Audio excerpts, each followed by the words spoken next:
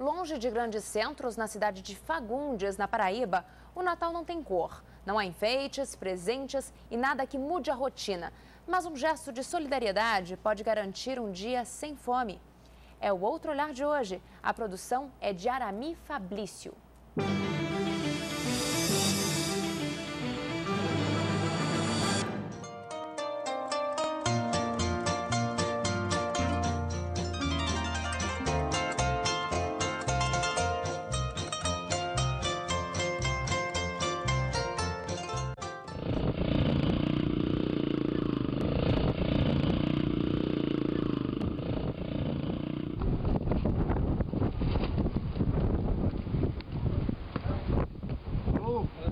Cláudio, beleza, cara? Beleza.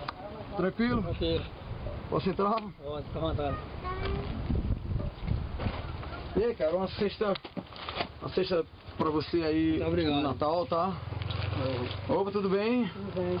Como é o teu dia de Natal, cara, aqui na região? Natal aqui é, é comer o que tem, né? É, tu trabalha o dia todo? Trabalho o dia todo E à noite, vocês têm a ceia de Natal? Não, É uma ceia comum. seu comum. E assim, aí logo cedo vão dormir, Dormir, mas o importante é o quê? Paz, saúde, não é isso? saúde. É isso. Dona Maria, eu trouxe uma- uns brinquedinhos para as crianças aí e uma, uma, cestinha básica de Natal para a senhora, tá? Certo. Como é o Natal aqui para a senhora? É como todos os dias. É, né? É. Assim, não tem essas coisas de como passar na televisão de shopping center, roupa.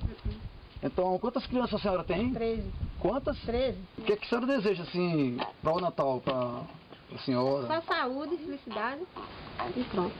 Então é isso aí, obrigado, viu? Tchau. Tchau. Tchau, cara.